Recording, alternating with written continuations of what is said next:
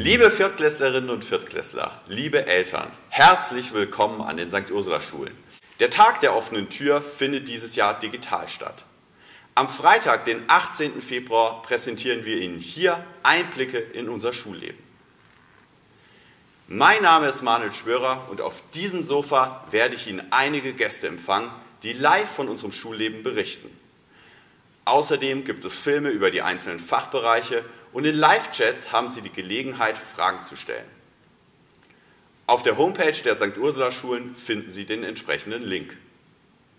Wir freuen uns auf Sie.